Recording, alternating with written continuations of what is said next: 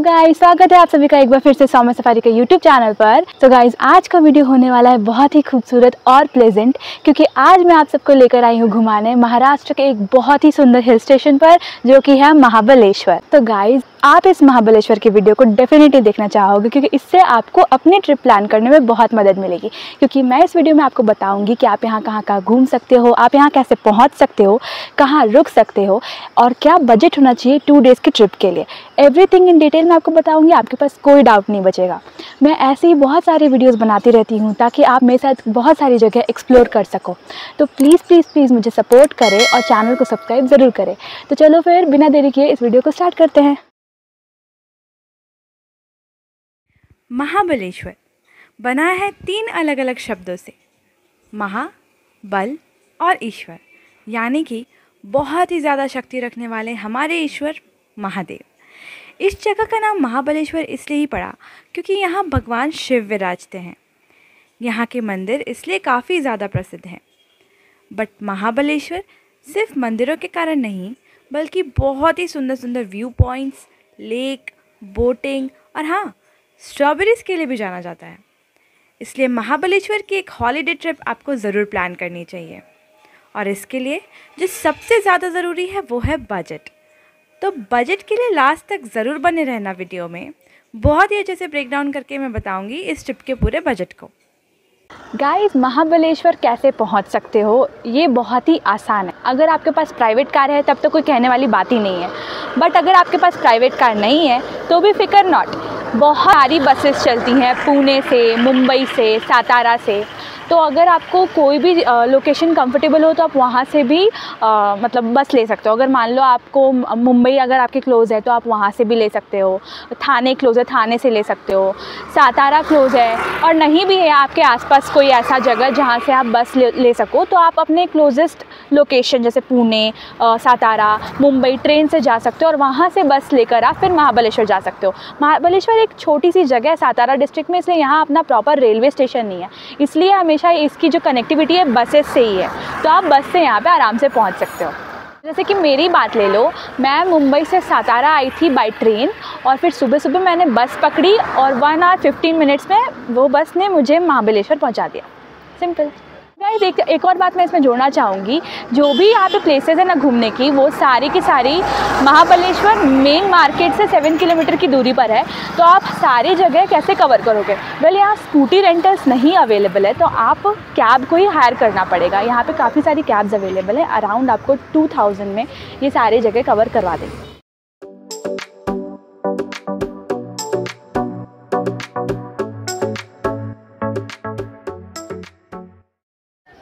Guys अभी मैं आई हूँ महाबलेश्वर टेंपल जिस टेंपल के ऊपर इस शहर का नाम है और इस टेंपल की बहुत ज़्यादा मान्यता है मतलब बारह ज्योतिर्लिंगों से भी सबसे ज़्यादा और इसीलिए ये इस जगह का सबसे फ़ेमस टूरिस्ट पॉइंट है। तो चलो फिर मैं अंदर जाके मंदिर में दर्शन लेती हूँ, तब तक आप मंदिर की टाइमिंग्स देखो।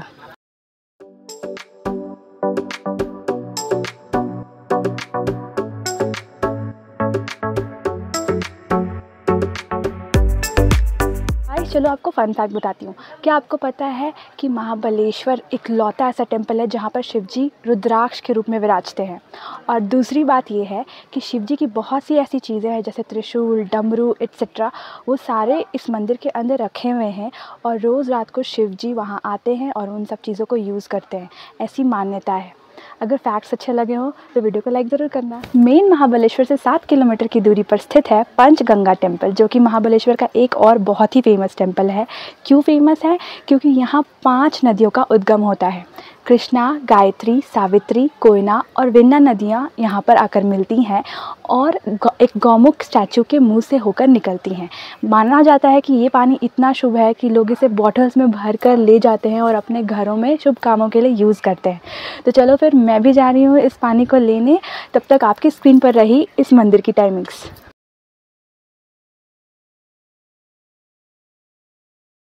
तो गाइस मैं लेकर आई हूँ पंचगंगा का पानी, जो कि बहुत ही शुभ है मेरे हाथों में तो मुझे बहुत अच्छा लग रहा है पवित्र पवित्र फील हो रहा है।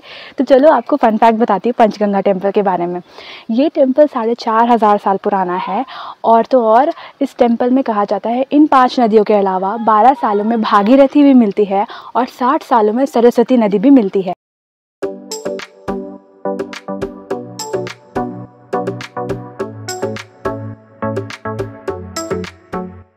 गाइस अभी हम बारी बारी से महाबलेश्वर के कुछ बहुत ही हाइट वाले, बहुत ही खूबसूरत व्यू पॉइंट्स विज़िट करने वाले हैं। तो अभी चलो, मैं आपको बहुत सुंदर सुंदर व्यूज़ दिखाने वाली हूँ।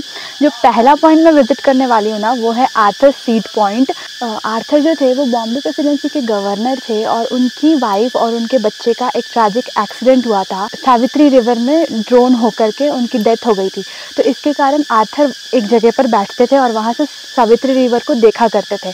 उस पॉइंट को ही आर्थर सीट पॉइंट कहते हैं और सुसाइड पॉइंट भी कहते हैं। तो चलो फिर यहाँ से हम अपने व्यू पॉइंट्स की शुरुआत करते हैं। लेट्स को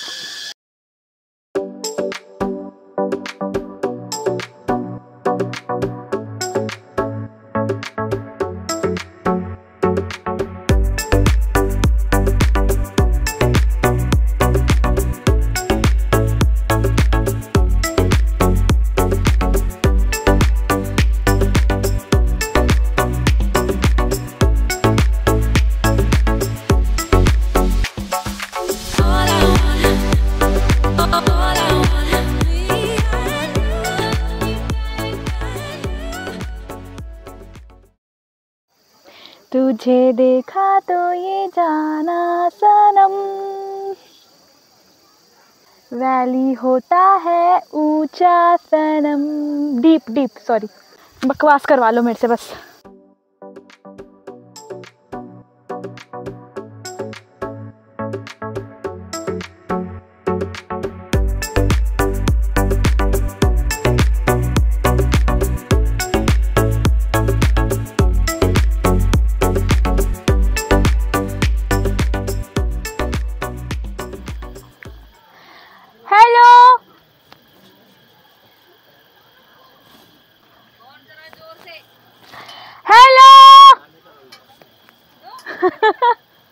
तो गाइज़ अब हम जा रहे हैं नेक्स्ट पॉइंट पर, जो कि है केट्स पॉइंट उसको शूटिंग पॉइंट भी बोलते हैं। वहाँ दबंग रब ने बना दी जोड़ी जैसी मूवीज़ की शूटिंग भी हुई थी। तो चलो फिर देखते हैं वहाँ का व्यू लेट्स गो वाह गाइस देखो ये कितना खूबसूरत है केट पॉइंट का व्यू मतलब लग रहा है किसी ने पेंटिंग की हो। जिधर मड कलर होना चाहिए, वहाँ पे मड है। जिधर ग्रीनरी वाली कलर होनी चाहिए, उधर ग्रीनरी वाली कलर है। मतलब लग रहा है किसी ने क्रेन से खुद से कलर किया हो। बहुत सुंदर।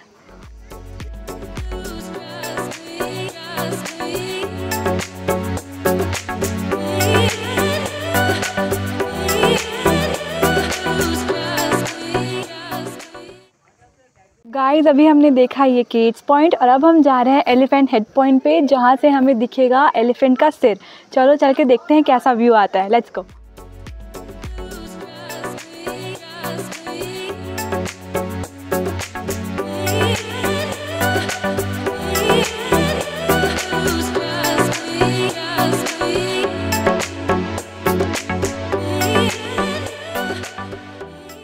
अब हम चलो महाबलेश्वर की सबसे खास स्ट्रॉबेरीज़ को एक्सप्लोर करते हैं।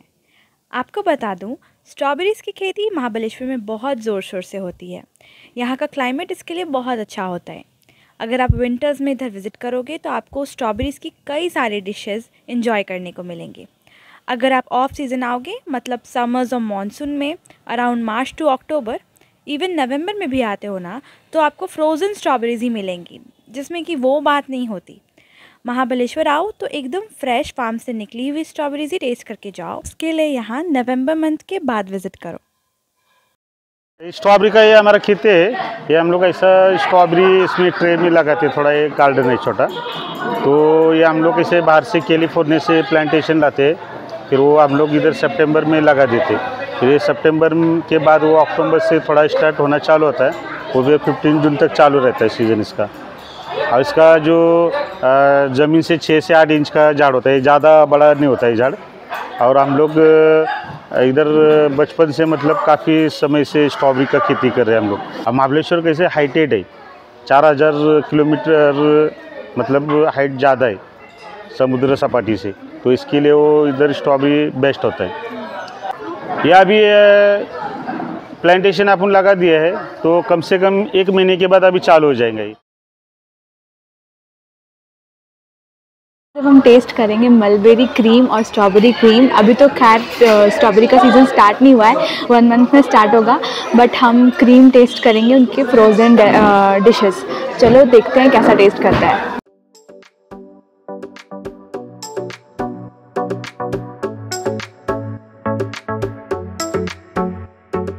गाइस महाबलेश्वर आए हो और लिंग वाला वाटरफॉल नहीं विज़िट किया तो फिर क्या विज़िट किया? यहाँ आओ और यहाँ पर खुली हवा में सांस लो, बहुत अच्छा लगेगा। ऐसे तो यहाँ आने में एक एक रास्ता है जहाँ से आपको वन आवर लगता है बट अगर आप टैक्सी हायर करते हो तो वो आपको शॉर्टकट से भी पहुँचा देंगे। तो मैं शॉर्टकट से पहुँची हूँ और चलो फिर वाटरफॉल का मज़ा लेते हैं। लेट्स गो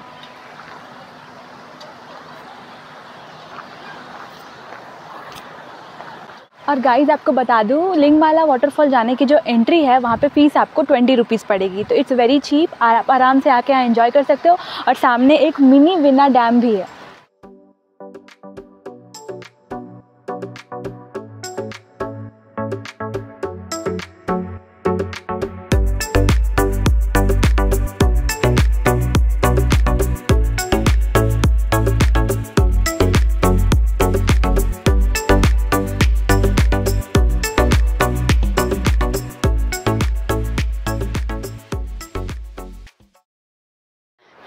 गाइस फाइनली हम लिंग वाला वाटरफॉल पहुँच चुके हैं और क्या व्यू है गाइस चलो आपको दिखाती हूँ।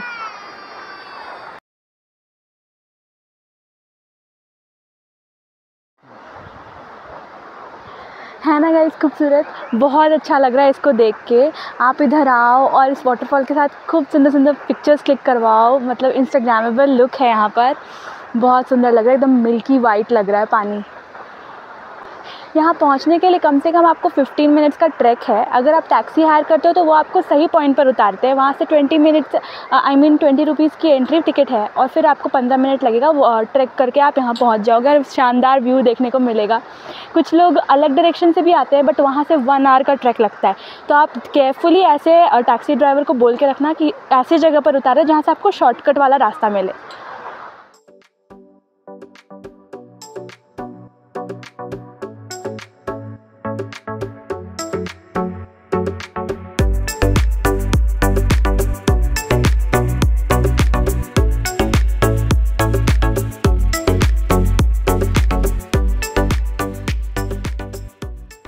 अब मैं आई हूँ वेन्ना लेक पर। ये एक जाना माना महाबलेश्वर का पिकनिक स्पॉट है।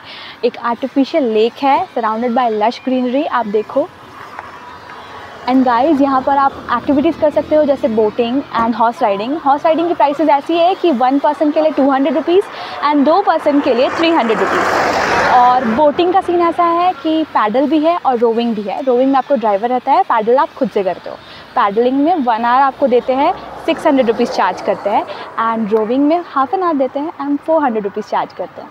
तो इस, आप पर डिपेंड करता है कि आप कौन सा वाला ऑप्ट करना चाहते हो। यहाँ आओ और मस्त यहाँ पर इंजॉय करो।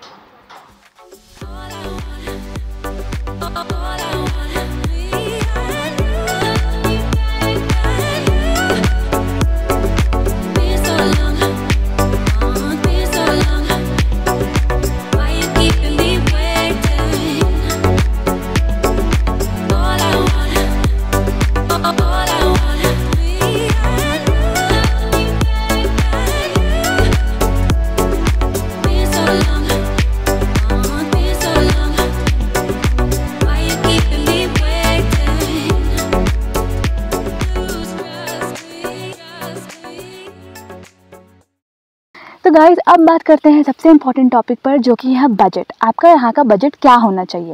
वेल well, मैं ये बोलूँगी कि महाबलेश्वर की ट्रिप आपकी टू डेज़ से ज़्यादा की नहीं हो सकती. मतलब मेरा ये कहना है कि आप टू डेज़ में आराम से महाबलेश्वर को कवर कर सकते हो.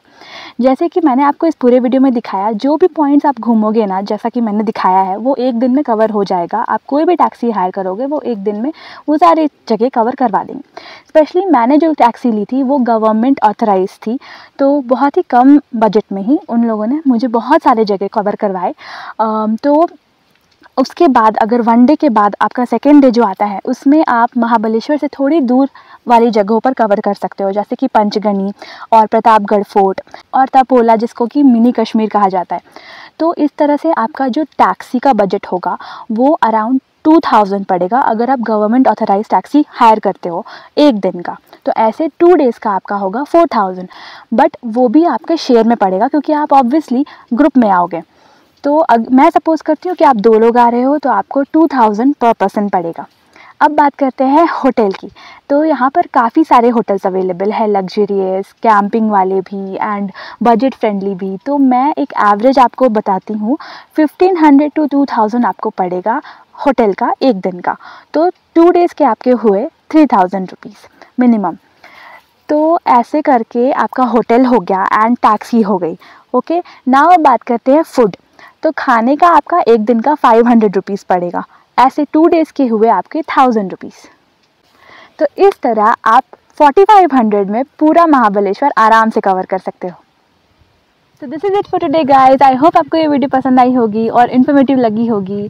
और जैसा कि मैं कहती हूँ, अगर आपके मन में कोई भी डाउट्स हो तो आप कमेंट में ज़रूर बताना और मेरे इंस्टाग्राम हैंडल पर भी आप डीएम कर सकते हो, जो कि यहाँ पर आपको मिल जाएगा। तो गाइस नवंबर आ चुका है एंड ठंड भी बढ़ रही है। तो अगर आप अपने बीच ट्रिप प्लान करना चाहते हो तो रिसेंटली मैंने काशिद और अलीबाग की वीडियो डाली है मेरे यूट्यूब चैनल पर। आप जाकर देख सकते हो और अपना नेक्स्ट बीच ट्रिप प्लान कर सकते हो। सो so गाइज़ अब इस वीडियो को यहीं एंड करते हैं। मेरी वीडियो को लाइक ज़रूर करना एंड चैनल को सब्सक्राइब करना बिल्कुल मत भूलना। फिर मिलते हैं एक न्यू वीडियो में, तब तक के लिए बाय